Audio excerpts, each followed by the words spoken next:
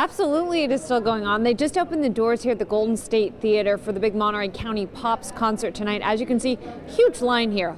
Big turnout for this concert tonight. Earlier today, the party was on the lawn and it was a big one.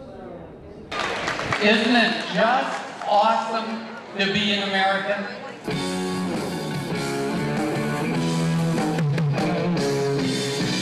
Thousands upon thousands of people showed up in Monterey to celebrate the 4th of July with a big party on the lawn.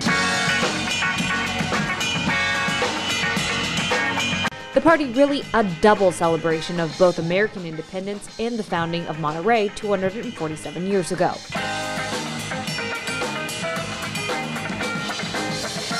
There was live music, dancing, food, and kids events. The booth with the longest line, the face painting station. Fireworks with three hearts in the middle.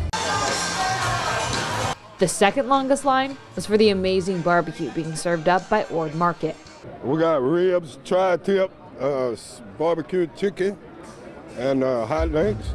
All of the booths raising money and awareness for nonprofits like Elizabeth Dole's new foundation, Hidden Heroes. And we're really just trying to raise awareness for the caretakers of veterans who give so much to themselves and their time that they start to um, not be in the best shape themselves. So we're really trying to find students to volunteer and give a couple hours or as much as they can. The big party going off without a hitch thanks to the hard work of volunteers, city staff, and downtown businesses. The people here are absolutely wonderful. Everyone's having a good time and enjoying themselves peacefully and patriotically, and that's what America is all about, if you ask me. The show starts at 7. It is free to the community, but seating is first come, first serve, which is why all of these people were lined up to see the show. They're going to be playing some patriotic tunes tonight. Aaron? Celebration continues. All right. Thank you, Caitlin.